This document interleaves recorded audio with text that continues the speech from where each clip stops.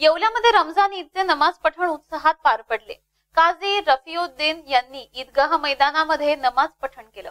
यावेळी माजी उपमुख्यमंत्री छगन भुजबळ आणि आमदार नरेंद्र दराडे हे देखील उपस्थित होते. त्यांनीही मुस्लिम बांधवांना ईदच्या शुभेच्छा दिल्या.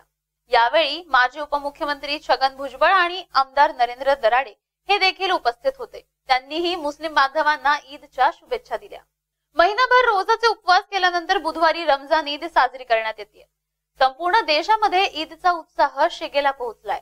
या दिवसाच्या निमित्ताने सकाळपासूनच विविध ठिकाणी असणाऱ्या मशिदींमध्ये नमाज अदा करण्यात आल्याचं पाहायला मिळालं.